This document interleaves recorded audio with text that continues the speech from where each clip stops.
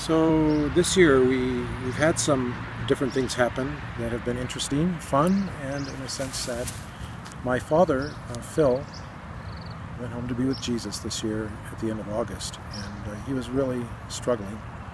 And we're thankful to see him with the Lord and able to, to be free again.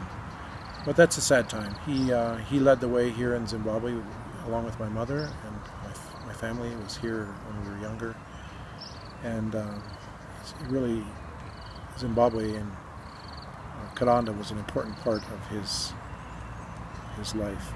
In fact, that Awana shelter we were talking about, or you'll hear about, uh, is a project in honor of of my dad and his interest at Karanda of both children and the Awana clubs as well as the hospital.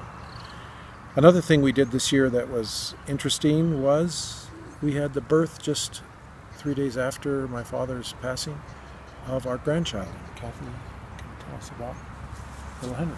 Okay. So I went to the United States on our term break to help Heidi out for a month. Ruthie had already been there helping her out because she's had a hard pregnancy.